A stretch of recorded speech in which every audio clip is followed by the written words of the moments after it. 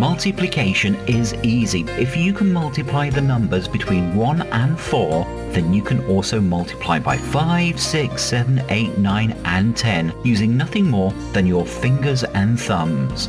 Put your open hands in front of you with your palms facing upward. Your fingers and thumbs are going to represent the following numbers 6, 7, 8, 9, 10. Your thumbs are always a 6, your little fingers are always a 10. Say you want to multiply 7 by 9.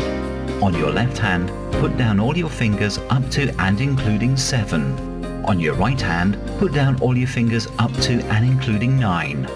Now any fingers that are down each count as 10. We have 6 fingers down, so that's a total of 60. Now the number of fingers left standing on each hand are multiplied together, which is 3 by 1, which is 3. Adding together our first total of 60 to our multiplication result of 3, we get 63. And yes, 7 times 9 is 63.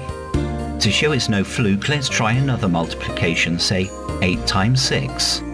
This time we have a total of four fingers down, each worth 10, so our first number is 40. On the left hand, we have two fingers standing. On the right, we have four standing. So that's 2 times 4, which is 8. So our result this time is 40 plus 8, or 48, which again is the correct answer. You can actually use the same technique to multiply by 5, but you don't put any fingers down on the hand representing 5. I hope you found this interesting, thanks for watching and please check out my other videos.